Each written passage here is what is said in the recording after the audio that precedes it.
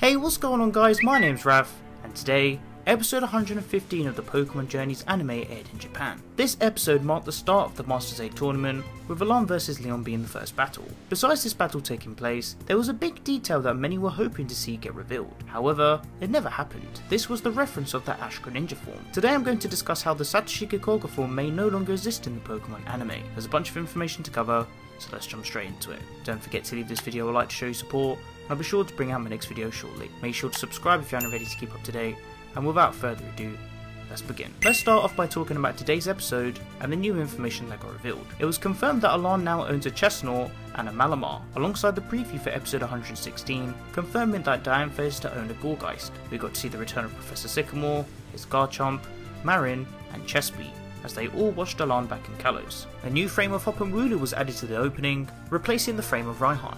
We also found out that a festival will be taking place to showcase all of the Pokemon movies in celebration of the anime's 25th anniversary. So Alain lost to Leon in the first round battle of the Masters 8 tournament. Besides the battle taking place, we saw Ash and Alain notice and acknowledge each other on stage. However, one thing that wasn't acknowledged at all throughout the entirety of the episode or referenced was the Ash Greninja form. Satoshi Gekkouga has been high in demand of a reference ever since the Greninja episode.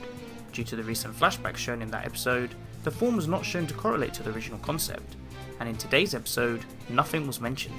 Let's talk about this. Before I begin, details I'll be discussing are in no particular order.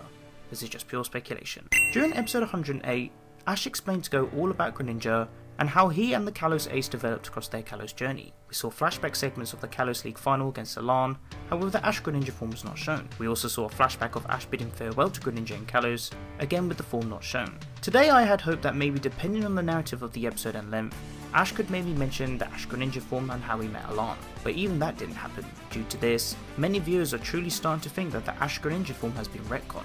The word retcon can be defined as a piece of new information that imposes a different interpretation on previously described events. With the differences shown in the flashbacks, this is why many think that the Ash Greninja form has become retconned.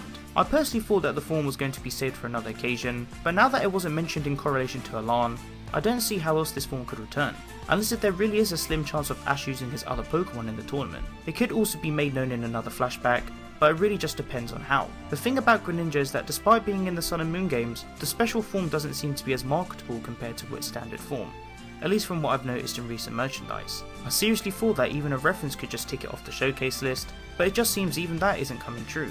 I guess the last resort for this would be Ash to reunite again with Greninja in a situation, and then the Bond phenomenon would fully activate to allow the Satoshi Gekkouga form transformation to happen. We saw how well that Aura Bond phenomenon activated well with Lucario, so maybe Greninja will have another exception to transform again. It's a very odd and confusing time, and hopefully the form isn't retconned in any way. The anime is now on a two week break, and will resume on the 8th of July with episode 116 with the battle between Lance and Diantha in the Masters 8.